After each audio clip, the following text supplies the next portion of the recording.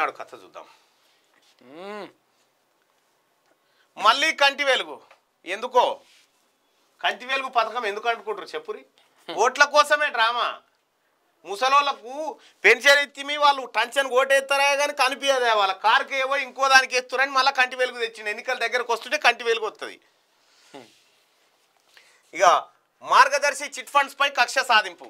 కుట్రపూరిత యత్నాలకు తెరలేపిన AP ప్రభుత్వం అట.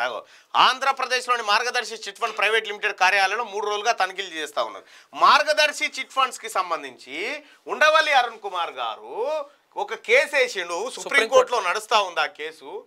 మార్గదర్శి chit funds ఏమే మామూలు చిట్ ఫండ్ ఏం కాదు. మంచిగానే ముంచింది. నిధుల దారి మళ్ళింపు కార్యక్రమంలో.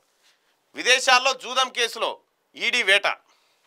ఏపీ ఎమ్మెల్యే గురునాథ్ రెడ్డి విచారణ బుట్టారేణుక సోదరుని లైగర్ సినిమా పెట్టుబడులపై పూరి జగన్నాథ్ చార్మిలను ప్రశ్నించిన అధికారులు. ఇక్కడ మాత్రం రాయాడు. ఇక్కడి తర్వాత తక్కువ. ఎమ్మెల్యేలకు ఎరా కేసులో మలుపు.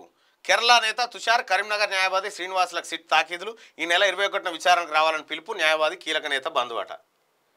ఇక సెల్ ఫోన్లోనే టీవీ త్వరలోనే డైరెక్ట్ టు మొబైల్ ప్రసారాలు. ఇప్పటి వరకు కొన్ని రకాల యాప్ల ద్వారానే వివిధ టీవీ కార్యక్రమాలను చూస్తున్న వారి శుభవార్త అన్ని రకాల కార్యక్రమాలు నేరుగా సెల్ ఫోన్కి ప్రసారం చేసే విధానం త్వరలోకి అందుబాటులోకి రానుందట వస్తుంది ఎట్లయినా. ఈ క్యూ న్యూస్ ఎట్లాగూ సెల్ ఫోన్లో అందుబాటులో ఉంది. మీరే లేటు మేము వచ్చేసినాం ఇప్పుడు. అంతే. బాసరా ఆర్జీవికేటీలో ర్యాక్ ఆ, ర్యాగింగ్ కలకలం నకిలీ గన్ లైసెన్స్ల ముఠా గుట్టురట్టు అంటూ అరబిందో. షరత్ కస్టడీ నాలుగు రోజుల పొడిగింపు విచారణకు సహకరించడం లేదన్న ఈడీ. ఇది సో ఇది కేసీఆర్ గారి ఈనాడు. పెట్టు పెట్టు